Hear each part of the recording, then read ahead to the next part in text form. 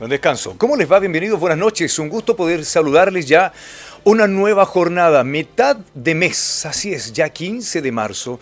Los hechos e informaciones no se detienen. Hoy la pauta informativa está interesante. Usted debe conocerla primero y mejor a través de nuestras multiplataformas, radio, televisión, web. Bienvenidos. Arrancamos con edición central de Pingüino Multimedia y para hoy estos son los titulares. Estos son los titulares. Robo de herramientas afectó a empresa constructora en sector de calle Briseño. En otro hecho, dos sujetos fueron detenidos tras intentar robar una ferretería y una estación de servicio en diversos sectores de la ciudad. Profundo pesar por fallecimiento del destacado traumatólogo magallánico, el doctor Álvaro Soto, que dejó de existir a los 81 años. El Casino Dreams de Punta Arenas celebró sus 10 años de la llegada a la región, convirtiéndose en una atractiva alternativa de entretención.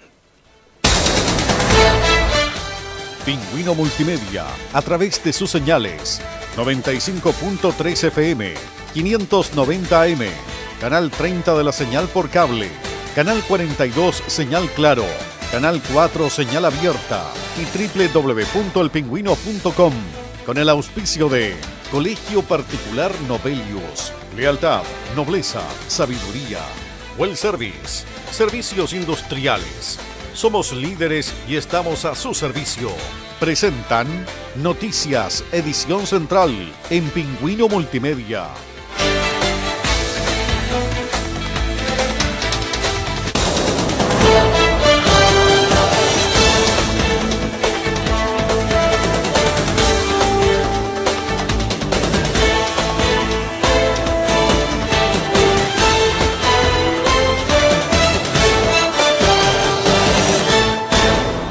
21 horas con 18 minutos. Saludos a la gran comunidad que nos ve, nos sintoniza, nos escucha. Como no, televisión, distintas plataformas, canales, radio AM y FM, web. Y ahora también nos unimos a Facebook Live y también nuestra señal abierta que sale en completo HD para toda la región, nuestro país y el mundo. Comencemos revisando las informaciones netamente en el plano policial, ya que un robo de herramientas afectó a una empresa constructora en el sector de calle Briseño. Junto en este compacto informativo, entre otro hecho, dos sujetos fueron detenidos tras intentar robar una ferretería y una estación de servicio en diversos sectores de la ciudad. Los informes se los presentamos en el siguiente compacto. Un millonario robo quedó al descubierto en horas de esta mañana en una obra perteneciente a la Armada de Chile ubicada entre las calles Chiloé con Daniel Briceño. Sobre el lugar, según el testimonio de los propios trabajadores, tras su ingreso al recinto, en la construcción, se encontraron con los accesos forzados de algunas bodegas, donde se guardaban distintas herramientas, las cuales fueron sustraídas por desconocidos. Hasta el lugar acudió personal de la Brigada Investigadora de Robos, quienes realizaron distintas pericias para dar con algún rastro o huella que permita relevar la identidad de los responsables del ilícito. El millonario robo habría afectado a dos empresas contratistas, Climatización Ival Limitada y Jaime Padilla, Construcciones Empresa Individual de Responsabilidad Limitada, con un total aproximado de 3.600.000 pesos y dos sujetos fueron detenidos tras intentar robar una ferretería y una estación de servicio. Según se informó, ambos individuos se constituyeron en primera instancia en una ferretería ubicada en Avenida Frey, donde le solicitaron a los trabajadores que le entregaran el dinero recaudado. Ante la negativa, ambos sujetos intentaron agredir a los empleados sin poder lograr su cometido. De esta manera, emprendieron rumbo en dirección oriente, por Avenida Salvador Allende, dirigiéndose hasta la estación de cargo de combustibles Petrobras, ubicada a la altura de calle Prat. En dicho lugar, los dos individuos intentaron asaltar al empleado de turno, el cual se resistió a entregar las ganancias del día. Testigos del hecho dieron cuenta a personal policial, quien al llegar al lugar encontraron a ambos sujetos emprendiendo contra la estación de servicio. De esta manera, Carabinero procedió a su detención, en una situación que para Iván Herrera, jefe de operaciones de la estación de servicio, dejó cuantiosos daños materiales. Eh, intento de robo en primer lugar y seguidamente este daño cuantioso en las instalaciones nuestras. Si uno de ellos, eh, sí, de hecho, claro, lo atacó y al no conseguir objetivo del dinero lo, golpeó. Eh, se trenzaron ahí, y, pero en definitiva se evitó la sustracción de dinero. ¿sí? por parte de, por venganza. Entonces, claro, entonces arremetió contra las instalaciones inmediatamente, se transformó, se volvió loco y, y causó tremendos daños a la instalación. Vino la policía inmediatamente, carabinero, y procedió a, detener a ambos sujetos. Anteriormente habían asaltado una ferretería hace escasos 30 minutos atrás. Había, había ocurrido el, mismo hecho en una ferretería de aquí del, sector de Avenida Frey. Llama la atención que se esté multiplicando este tipo de, de actuar, ¿eh? sobre todo de los vecinos. No estábamos acostumbrados a esto hace un par de años. Si usted tiene algún dato, siempre es bueno participar en forma anónima, eh, denunciando hechos como estos, ya que es la seguridad para todos. Todos formamos parte de tener un día a día mucho más seguros. ¿ah? Le invitamos a participar en forma totalmente anónima.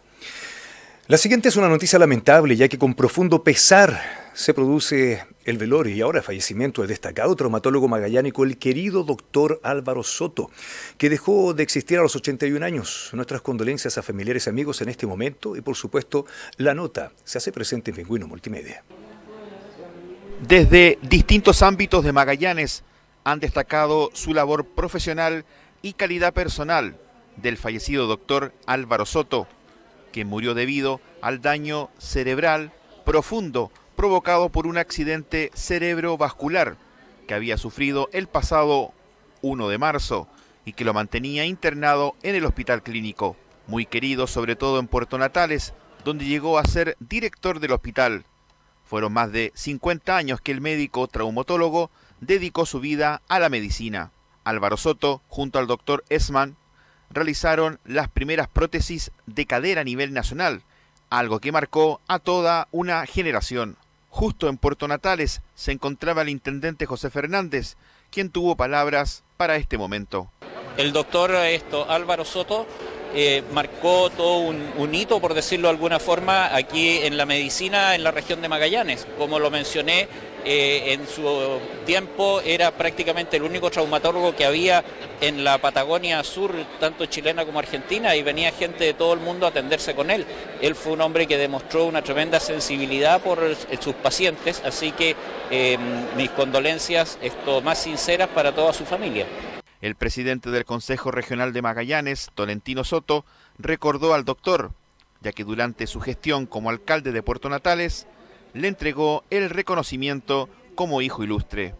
Hay un dicho que dice que las personas mueren cuando uno las olvida. Y yo creo que en ese aspecto don Álvaro Soto será una persona inmortal porque son personas que hicieron de su oficio un apostolado, de esas personas que no tenían horario para atender, de ese médico que si era necesario partir a, cualquier domicilio para ver un enfermo, más allá de si habían bonos o no habían bonos, él siempre privilegió su entrega profesional y humanitaria hacia sus pacientes. Sus funerales se realizarán este sábado en el cementerio municipal de Punta Arenas.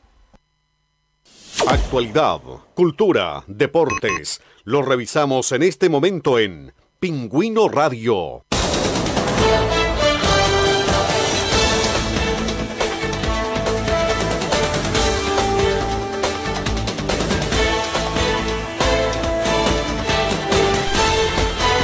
Es una muy buena hora para entablar una conversa, entrevista o quizás un rato en el cual podamos conocer mucho más de nuestros invitados también. Hoy, como no, ya estamos celebrando 89 años de la Fuerza Aérea. Por eso nuestros estudios nos visita el comandante en jefe de la Cuarta Brigada Aérea, general Eduardo Mosqueira. Bienvenido. Muchas gracias y gracias por la invitación. Así Gusto saludarle ya en Pingüino Multimedia Edición Central, conectados para toda la región de Magallanes, Chile, el mundo, distintas plataformas. Excelente. 89 años de la Fuerza Aérea. Así es, 89 años cumplimos ya este año.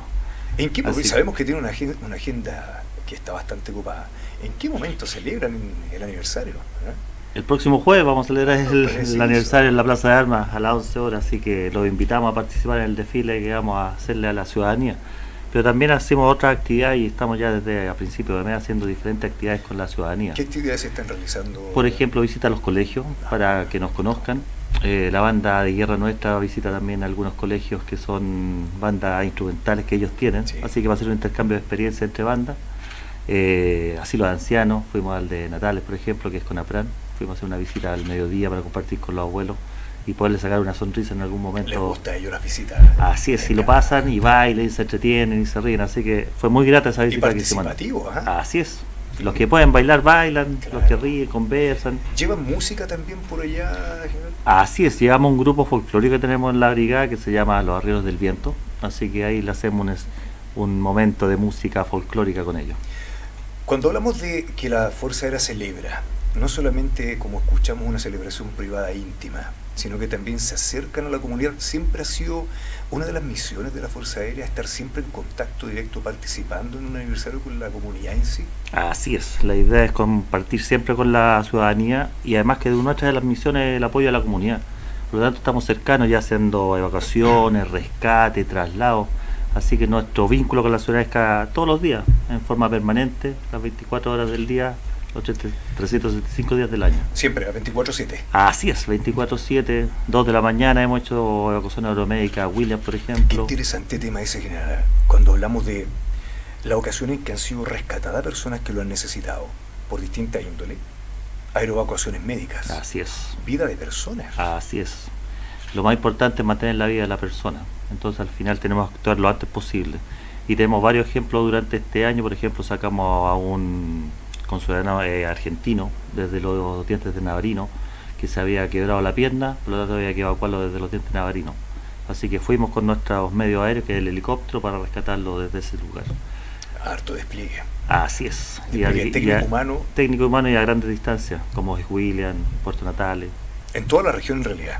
Así es, abarcamos con nuestra con nuestro medio toda la jurisdicción, desde el norte por Natales, Campolleros si es que es necesario, hasta la Antártica, que también hacemos evacuaciones antárticas. Cuando hablamos de desafíos personales, también como institución hay desafíos de la Cuarta Brigada Aérea.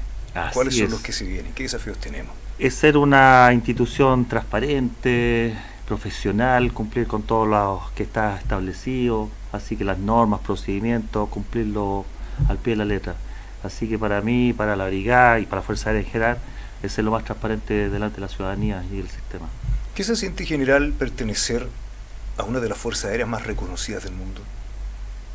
Yo soy orgulloso y me siento orgulloso de mandar la Cuarta Brigada Aérea y tener la gente que tengo al mando. Así que me siento muy orgulloso de pertenecer a Azul Aérea. Estamos viendo algunas imágenes, ¿ah? 89 años de la Fuerza Aérea, que también se festeja, se festeja junto a la comunidad el próximo jueves, ¿a qué hora sería el desfile y lo tienen contemplado? A las 11 de la mañana iniciamos los honores al señor intendente que va a presidir la ceremonia y posteriormente el desfile. Estaríamos terminando aproximadamente a las 12. ¿Hay algún encuentro entre camaradas ahí también después? ¿Eh? ¿Algún encuentro entre camaradas, algún cóctel, por ejemplo? No, tenemos una actividad que es después celebrar con las autoridades con una con un cóctel, pero muy reducido y mínimo. Así que no hay problema, compartir un momento agradable con ellos.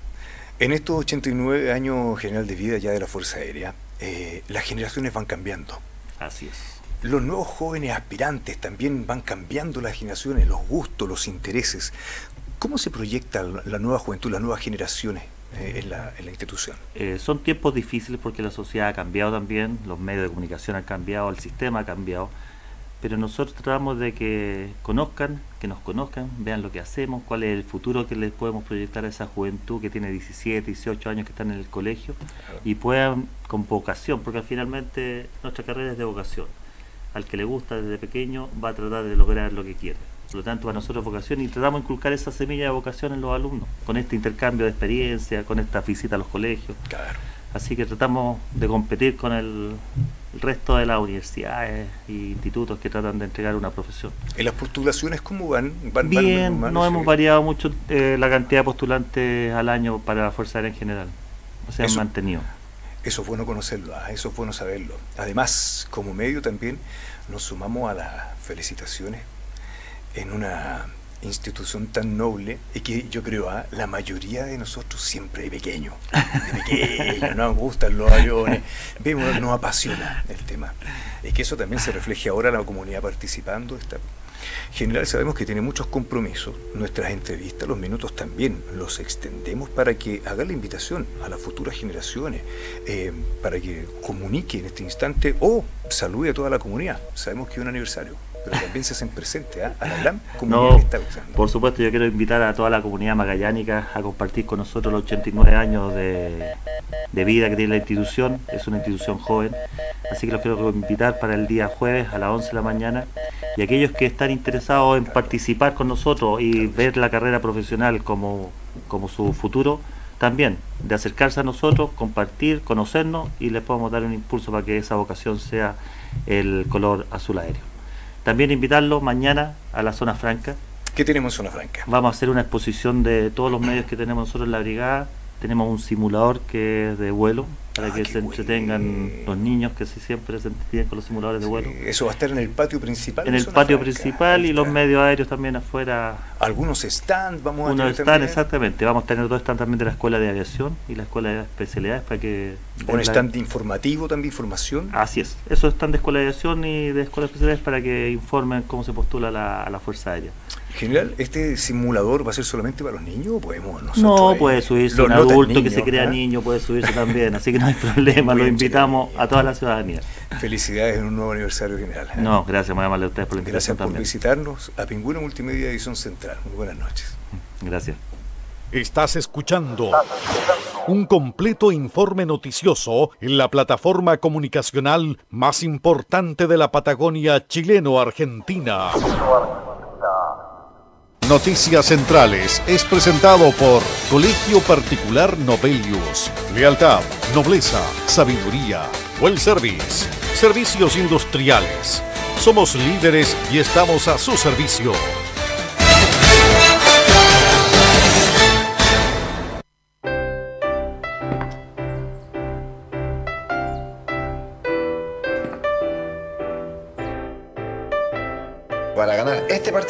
Sí necesito el mejor internet.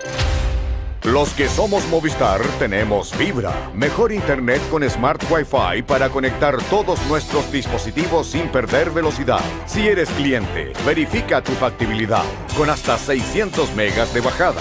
Fibra Movistar, mejor internet. Movistar, elige todo.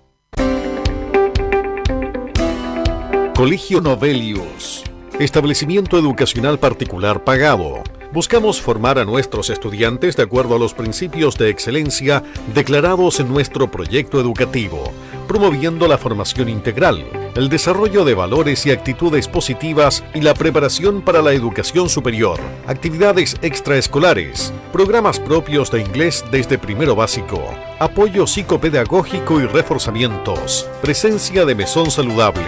Inicia su proceso de admisión 2019. Colegio Novelius lealtad, nobleza y sabiduría. Es la hora 21, 34 minutos. La temperatura 11 grados.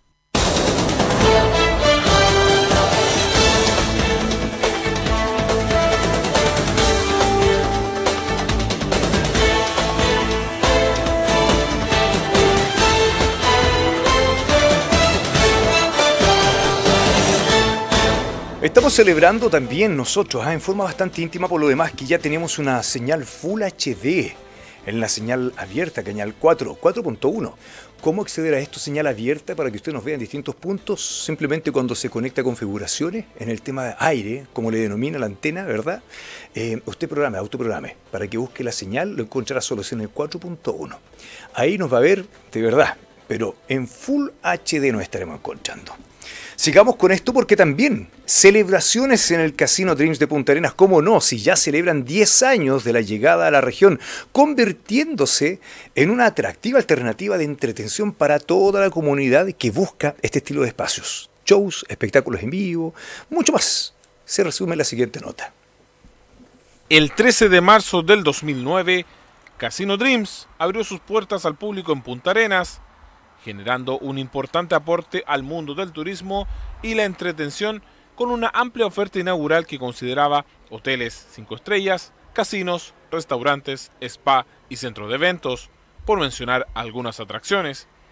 Han pasado 10 años y el lugar ha tenido cambios, pero mantiene la esencia de entretener a los magallánicos y a los turistas que llegan al lugar, como indicó el gerente general de Dreams Punta Arenas, John Matson. Sin ninguna duda hay dos cosas que yo creo que han sido lo esencial del aporte. Por supuesto que la infraestructura eh, de, la instalación ha sido un aporte eh, con instalaciones de clase mundial, teniendo un hotel de cinco estrellas eh, y salones de eventos que han permitido traer artistas que antes, digamos, probablemente venían a Punta Arenas pero en condiciones distintas. en ese sentido, junto al casino además, hemos, generado un aporte constante a la entretención. la ciudad eh, necesita cierto desconectarse de la rutina y en ese sentido hemos intentado tener una oferta permanente de actividades de entretención a través de las carteleras, a través del casino y también, por supuesto, a través de toda nuestra oferta culinaria. Pero la firma no se queda en los festejos de los 10 años, sino que también hace proyecciones en el futuro, especialmente en los próximos cinco años. Bueno, desafíos hay siempre. Eh, estamos ya a 10 años, eh, cinco años más eh, va a haber que pelear por renovar la licencia, ese va a ser un desafío importante. Seguramente la competencia va a ser ardua porque Punta Arenas ha sido una plaza muy interesante. a nosotros nos ha ido bien gracias al equipo local. también acompaña a la, comunidad, por supuesto, que desde la partida nos dio una, una buena acogida. Pero sí hay desafíos, siempre tenemos nuevos proyectos a través de inversiones, de mejoras, de novedades. Eh, a medida que esas se vayan confirmando, lo vamos a ir anunciando. Para la celebración de los 10 años presentaron una muestra fotográfica con imágenes de los trabajadores del casino. Este sábado será el lanzamiento de un vino especial para la fiesta de celebración de Dreams Punta Arenas. Desde la Patagonia chilena. Te informas del acontecer regional y nacional en Pingüino Radio.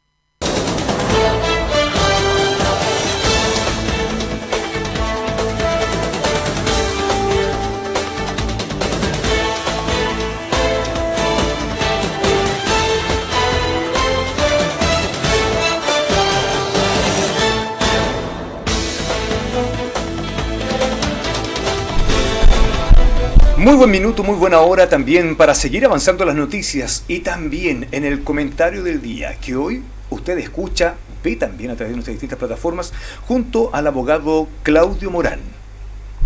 Buenas noches. Cuando termina el verano en nuestro país, nos cabe la reflexión de que estamos realmente en una nueva época.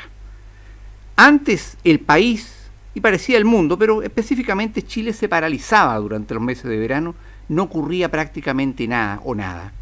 Y se retomaba recién la agenda y la actividad a partir del mes de marzo.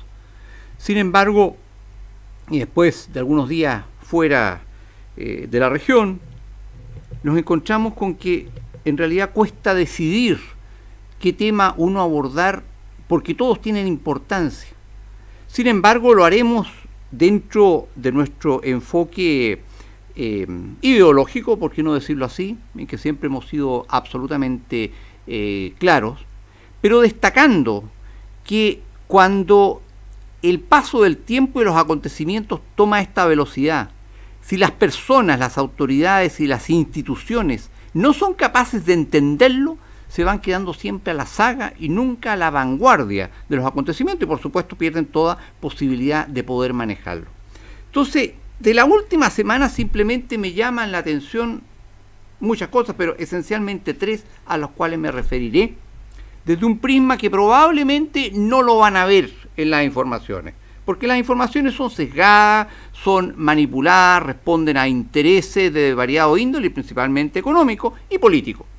Por ejemplo, con respecto a la famosa marcha y huelga feminista del 8 de marzo, movimiento por lo demás de nivel mundial, que lideraron fundamentalmente organizaciones y personas vinculadas a la izquierda ideológica.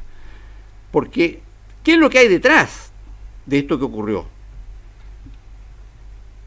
La intención clara y permanente de ciertos sectores ideológicos del país y del mundo de dividir esta vez ya no se divide, no está de moda dividir en clases sociales, entre ricos y pobres, también se hace, pero menos. Ahora la división entre sexos y a través de la introducción de la ideología de género. Sin embargo, y valga esto solo como reflexión, Un tema, la violencia contra la mujer.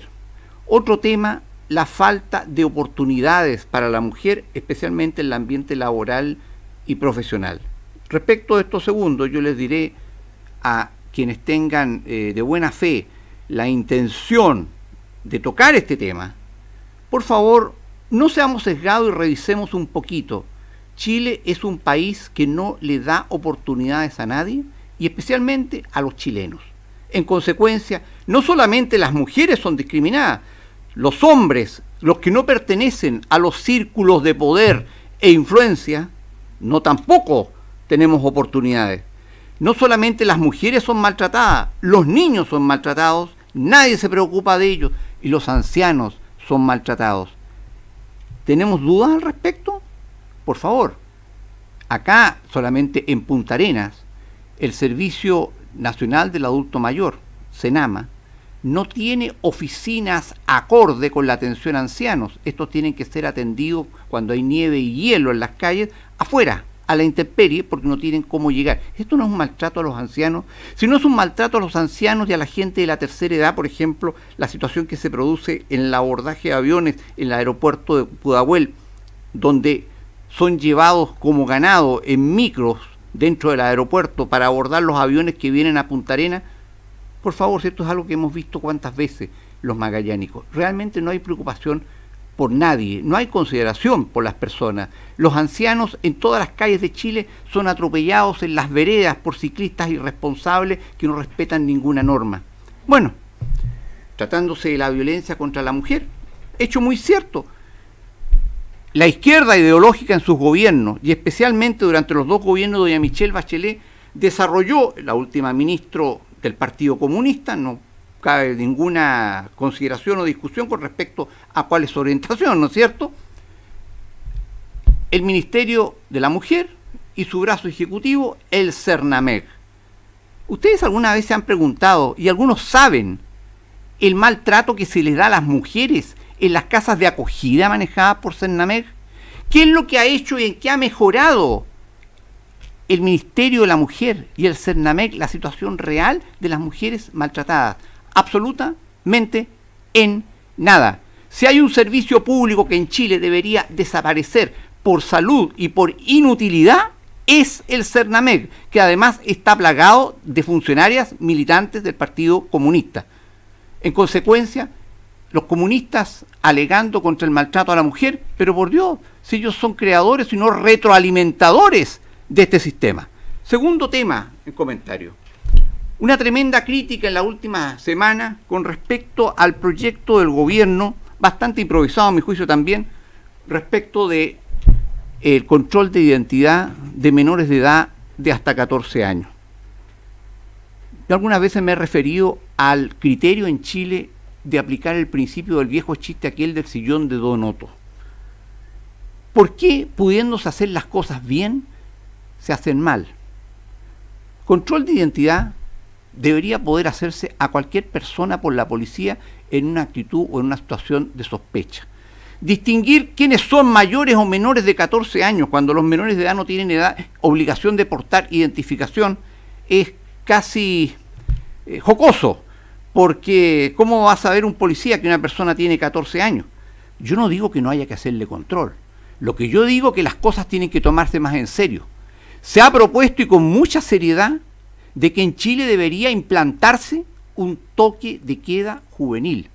Hay muchos países del mundo, del mundo occidental y desarrollado, en que no puede haber ningún menor de edad en las calles después de las 11 de la noche si no es acompañado con un adulto responsable vinculado con él. No estoy hablando de cualquier adulto, estoy hablando de su padre, de su madre, de su hermano mayor, en fin, alguien que se haga responsable y lo cuide. Si no, ese menor es retirado de las calles y llevado a tu casa. Eso en países civilizados y desarrollados. Eso debería proponerse, pero también yo estoy sosteniendo hace mucho tiempo que hay una irresponsabilidad generalizada hacia las nuevas generaciones. Tenencia responsable de hijos, responsabilidad penal de padres y guardadores. No puede ser que en las narices de los padres, si realmente los padres están preocupados de sus hijos, sus hijos se estén convirtiendo en delincuentes, fraguando delitos, juntándose con delincuentes y siendo como son hoy en día, y es real como lo dijo un diputado de la República, muchos menores no son blancas palomas, efectivamente no son blancas palomas y están presentes en asaltos a mano armada, cuando no en muertes de, eh, de, muchos ciudadanos, prácticamente todos los días en las calles de nuestro país. Pero esto es un tema que nadie quiere abordar. ¿Por qué? ¿Por qué? Porque a la izquierda no le conviene, porque de ahí saca algunos votos. Nuestra juventud realmente está abandonada a su suerte. En este país se han preocupado del show, de la educación gratuita y de calidad, show, de la gratuidad, del pago de la educación superior, que algunos ya están perdiendo porque son malos alumnos, pero no se han preocupado de los niños en edad preescolar, de los preescolares, de los estudiantes de enseñanza básica, que es allí donde se forma realmente el futuro de las personas y por tanto el futuro del país. ¿Saben ustedes, señoras, señores, quiénes son los ninis? Es el concepto sociológico para un segmento de nuestra población. Ni estudian ni trabajan. Los ninis. Se calcula que el 40% de los jóvenes entre 20 a 30 años de edad de nuestro país no estudian ni trabajan. ¿Quién se preocupa de ellos? Nadie. Tercer, en consecuencia, no estamos haciendo nada. No estamos abordando el tema de fondo. La oposición, especialmente la izquierda, negándole la sal y el agua al gobierno, pero el gobierno tampoco tomando el tema de fondo.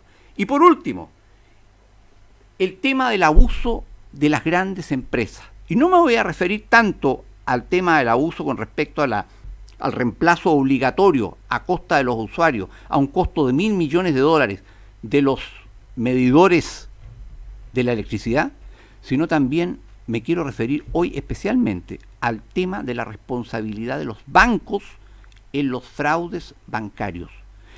Nuestra Corte Suprema, en el día de ayer, por tercera vez consecutiva en pocos meses, ha sacado un fallo que establece que la responsabilidad por los fraudes bancarios debe ser asumida por el banco. Y la razón es jurídicamente muy simple, porque los dineros que entran a una cuenta bancaria son propiedad del banco, que debe responderle al cliente del banco por esa misma cantidad. Pero quien es defraudado, si alguna vez un hacker se mete a una cuenta bancaria y saca plata, una transferencia eh, fraudulenta, por ejemplo, ese es dinero del banco, no es dinero del contracorrentista, en consecuencia es del banco el que debe responder. La banca, la banca ha intensificado sus presiones, una vez más, con la excusa o con el cuento de que esto le va a subir el costo al crédito, a las personas, los intereses. Miren, el crédito que se paga en Chile es monstruosamente alto y la razón es porque en Chile no hay libertad económica financiera. En Chile no puede operar cualquier banco extranjero que quiera instalarse acá y, colocar tasas de interés internacionales. En Chile las tasas de interés real que se siguen pagando casi por cualquier crédito o consumo por tarjetas de crédito no es inferior al 50% anual. Es una monstruosidad el interés real. En consecuencia, la presión que están haciendo los bancos en este momento sobre la legislatura es para tratar de sacar las castañas del fuego con la mano del gato, es decir, de los ciudadanos, es decir, de los clientes. En consecuencia, se sigue dando la tónica de lo que venimos sosteniendo hace mucho tiempo. Chile es un país detenido, Chile es un país que va en definitiva al fracaso, porque somos un excelente modelo de subdesarrollo nosotros no vamos al desarrollo, estamos estancados en el subdesarrollo y estamos en una mentalidad pequeña que nunca nos va a sacar adelante. Esto es reversible, pero hay que ser capaz de pensar y hay que ser capaz de crear. Buenas noches. Pingüino Radio, la más potente, la más escuchada. Somos la primera sintonía en la Patagonia.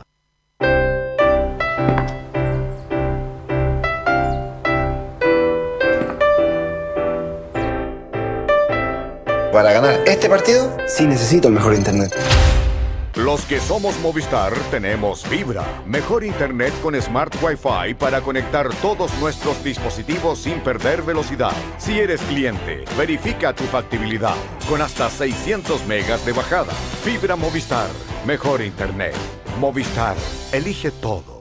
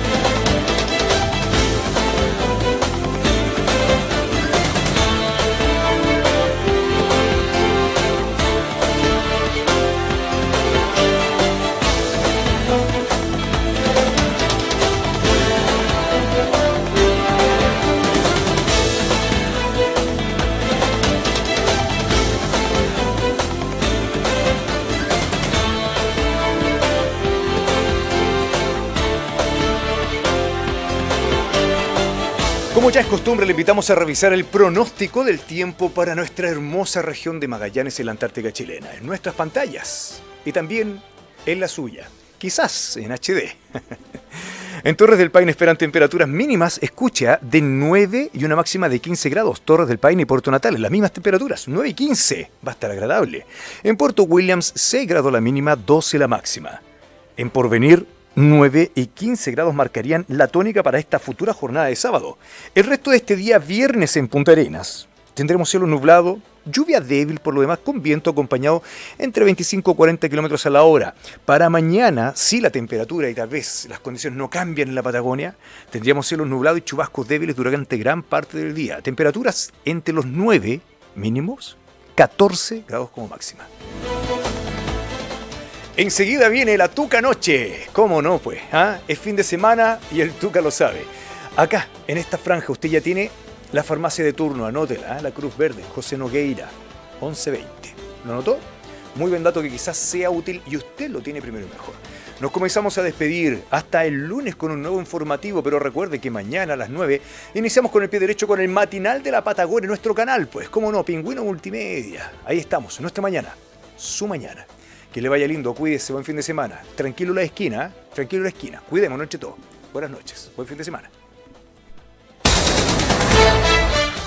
Pingüino Multimedia, a través de sus señales 95.3 FM, 590 AM, Canal 30 de la señal por cable, Canal 42 señal claro, Canal 4 señal abierta y www.elpingüino.com con el auspicio de Colegio Particular Novelius, Lealtad, Nobleza, Sabiduría, Well Service, Servicios Industriales. Somos líderes y estamos a su servicio. Presentaron Noticias, edición central en Pingüino Multimedia.